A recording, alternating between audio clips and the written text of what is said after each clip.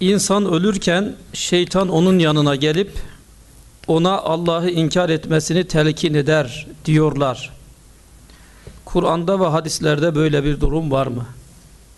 Öyle şey olur mu? Tabi şimdi onu söylüyorlar ki diyorlar ki o sırada bizim efendi gelip seni kurtaracak diyor.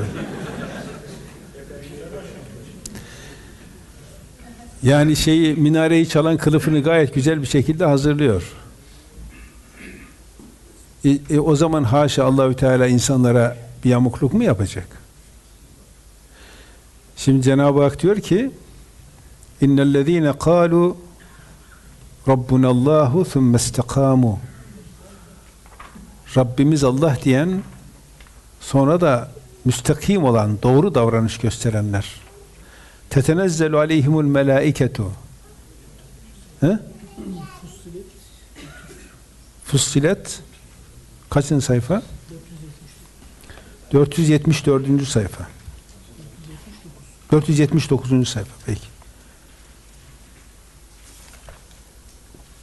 Diyor ki Allahü Teala burada ilk ayeti 30. ayet İnnellezîne kâlu rabbunallah sümme istekâm Rabbimiz Allah'tır deyip de dürüst olan, doğru olan insanlar tetenezzelu aleyhimul melaike melekler onların üzerine iner de iner.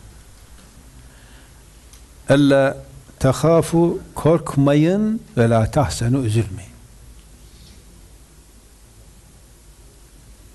Ve ebşiru bil cennetilleti kuntum tuadun size söz verilen cennette sevinin ki birçoğu böyle güleç yüzlerle vefat eder biliyorsunuz.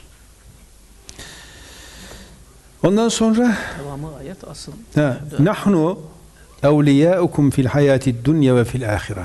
Evet. Dünyada biz sizin dostlarınızız. Ahirette de öyle.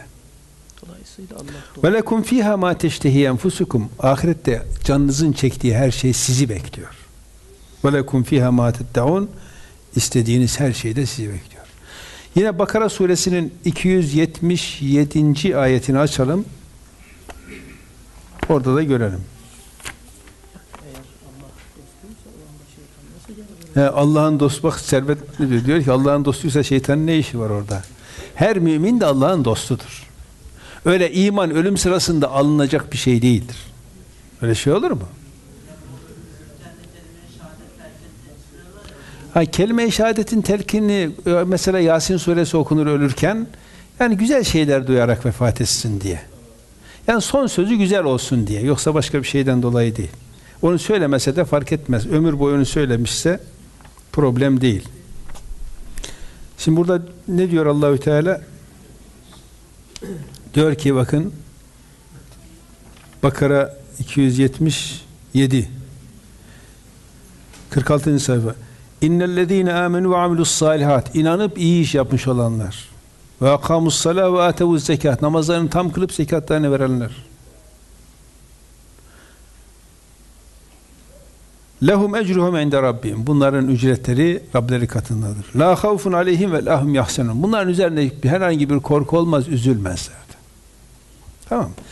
Siz dürüst olun, doğru olun. Cenab-ı Hak sizi bu dünyada da ahirette de çok güçlü hale getirir. Çok güçlü olursunuz.